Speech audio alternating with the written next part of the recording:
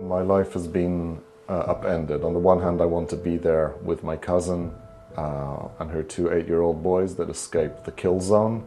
I wanted to attend the funeral of a friend of mine from high school, or with my mother, who's currently sitting in a bomb shelter. She's 70 years old. This was an act of horror, period. Nico Black is an Israeli currently living in Cincinnati. He's frustrated, not just because all of his loved ones are in danger and a world away, but because he's constantly finding false information being liked or shared on social media platforms. Be aware you are being manipulated 100% because it's in the interests of multiple parties to do that.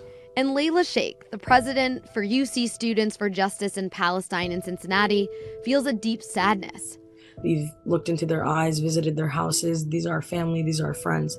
But that sadness is countered with anger, as she too is experiencing some backlash in her everyday life because of false information. Our safety has been extremely threatened. President Biden even went out and said that you know there was 40 babies beheaded and then later his administration said that there's no actual evidence like he didn't see anything. Dr jeffrey blevins a professor for public and international affairs at uc says this is already a complex and complicated conflict with years of history.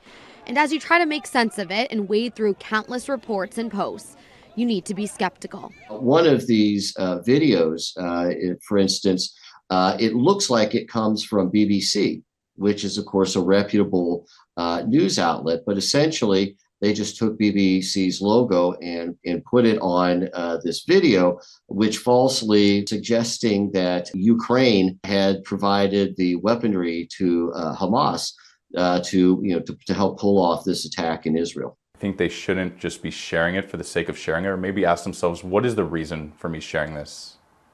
Is it to further prospects for peace and understanding, create space for dialogue.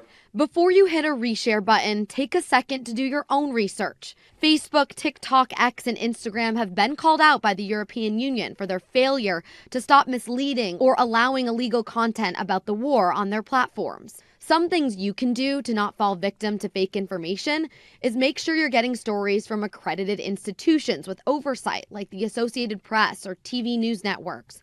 If something looks suspicious, call the news organization's tip line or email them. You can also always use a reverse image search on Google to see if the picture is legitimate.